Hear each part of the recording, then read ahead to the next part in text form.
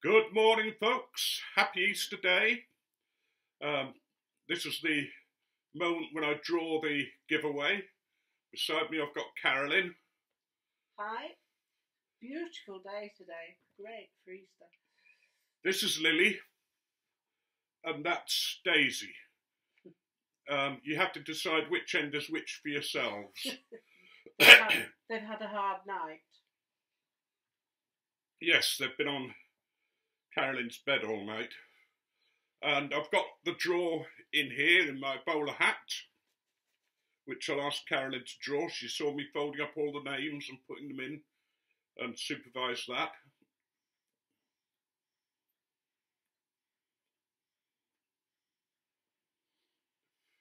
In case you didn't know it, don't be eager, dear, don't be eager. She's been like that since we got married. Um, in case you didn't know it, the bowler hat was designed to be worn by gamekeepers. Um, there was a lord of the manor whose gamekeepers were continually getting belted on the head by nasty poachers. So he went to his hat maker and said, Can you suggest a hat or make a hat that my gamekeepers can wear that looks smart but doesn't make them look like a gentleman? And the hat maker came up with a bowler hat, which is quite a firm hat. And in the first days they were made, it was quite thick, so if they got hit, it would take the main force out of the belting on the head. Just a little fact for you. And Carolyn thought that they stood on them to look over walls, but no, that was the London policemen, the um, the runners, the Bow Street runners, who had tall chimney pipe hats to stand on, so they could look over walls to see where the bad guys were. Now you're probably saying, forget that, draw the flipping draw. Right, I'll draw the draw. I'll get Carolyn to draw it. Mix them all up, dear, although they have been mixed Give them a good shake. several times. Just one. Just one, that don't, before we draw it. I'm sending this back to the pipe shop. Um, it's getting all brown on the outside, and you know, You haven't told them what you're smoking. I oh, you've been listening to the videos, haven't you, love?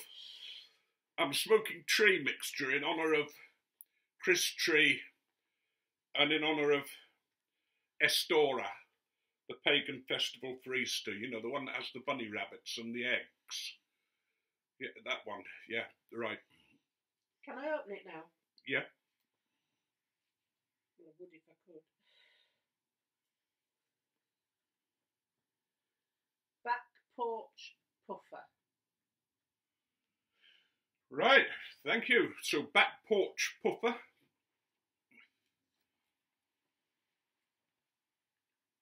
Um, don't know whether you can see that. So, if the back porch puffer will get in touch with me, congratulations, you've won the four tins of tobacco, Dunhill tobacco. And I'm sorry for the rest of you, but I hope you've enjoyed the, the stories. We Oh. did. We did, yeah. She was expecting something a bit, you know, but I said, no, dear, these are these are good gentlemen and ladies. They don't do those kind of stories. Anyway, we'll say goodbye. Bye. Bye. Have a happy Easter. Um, and if the back porch puffer um, gets in touch with me, um, either by private mail or through my email, which is on the um, homepage of the YouTube,